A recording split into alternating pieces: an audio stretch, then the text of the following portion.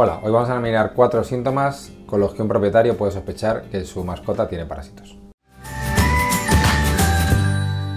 Bueno, el primer síntoma y más evidente es que eh, tengamos unas heces en las que veamos parásitos macroscópicos. ¿vale? El más típico son lombrices, vermes redondos que se mueven eh, cuando el animal defeca. No en todos los animales llegan a generar una diarrea, o sea, podríamos tener hasta unas heces formadas en las que vemos un parásito que, pues, que se mueve, que parecen pues, son las típicas lombrices. Hay otros parásitos como las tenias que lo que eliminan son trocitos del parásito que son como granitos de arroz que vamos a ver en, en las cacas. esos son los que podemos ver macroscópicamente y podemos sospechar de un parásito. El segundo signo sería un animal que aunque no veamos ningún síntoma tiene la tripa especialmente hinchada. Cuando nos pasa eso podemos sospechar también de que hay parásitos.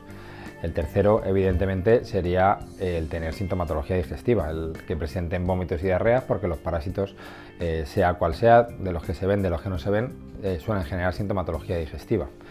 Y el cuarto signo, que es un signo que eh, se suele conocer, es que muchos parásitos producen picor en el, ano. Entonces la mascota lo que va a hacer es arrastrar el culete porque tienen picor, porque los parásitos al pasar por ahí se mueven y generan picor. Bueno, espero que os haya ayudado. Fijaros en estos cuatro síntomas y si tenéis alguna duda o alguna sospecha, pues acudir al veterinario. Si os ha gustado el vídeo, darle al like y seguirnos en el canal.